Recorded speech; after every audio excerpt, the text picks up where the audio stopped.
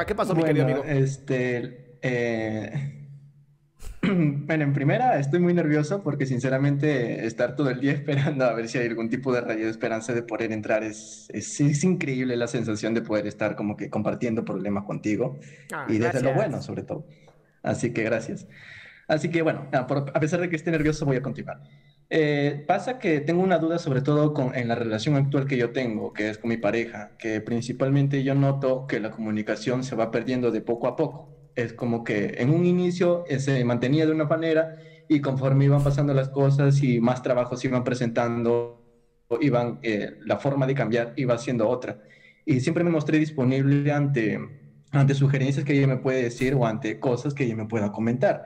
Del tipo, cuenta conmigo cuando necesites conversar algo o si quieres contarme algo, pues aquí estoy para, para escucharte. Y es algo que no he percibido de ella a pesar de que en un inicio fue así y es como que yo tengo ese miedo a que se pierda esa comunicación que antes se mantenía. O cómo puedo sobrellevar ese tipo de temas. Pero ¿por qué no tendrías que sobrellevar y no platicar con ella? Es, ese también es otro, otro detalle porque ella principalmente su idea es de decir de que si, o sea, por la coyuntura no puede ir todos los días y ella es como que yo te demuestro algo, pero lo demuestro en persona y no siempre lo voy a estar demostrando por otros medios que pues se nos hace más fácil comunicarnos y es como que yo no puedo ir todos los días para saber si ella lo hace o si es que ella, este, bueno, en sí lo hace, ¿no? Si ubicas que no explicaste nada, ¿verdad? sí, lo siento, es que no sé por qué camino tomarlo porque son tantas cosas que si le explico me voy a explayar demasiado. Pero principalmente es eso, o sea, la idea se enfoca en el hecho de que cómo puedo yo... Eh, manejarlo o conversarlo o llamar la atención para que pueda comunicarle que tengo ese miedo a, perder esta comunicación que antes se mantenía. Pero es que, a ver, yo, yo, no, yo jamás empezaría una, una plática diciendo tengo mucho miedo a perder algo. O sea, empezaría desde, desde, otro, desde el otro punto. O sea, no desde la pérdida, sino desde la ganancia. Desde, oye, ¿cómo podemos mejorar nuestra comunicación? Te va a preguntar, ¿por qué? Y va a decir, es que yo siento que últimamente, bla, bla, bla, bla.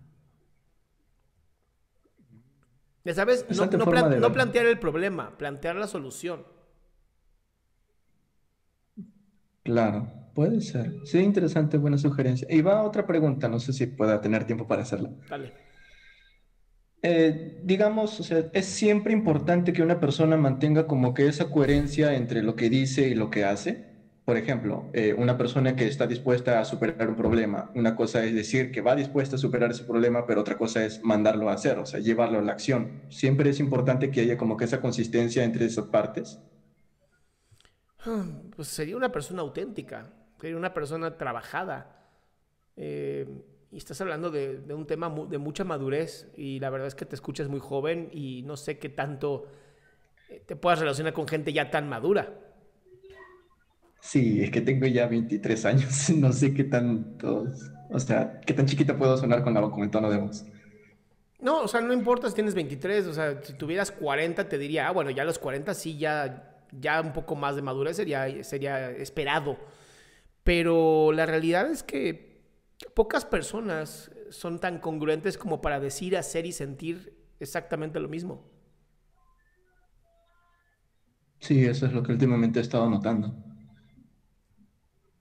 Pues cuando, cuando dices, cuando dices, cuando, cuando le pones como esta, esta carga moral tan fuerte, ¿no? De, de qué tan bueno sería, yo te diría, pues es que no es ni bueno ni malo.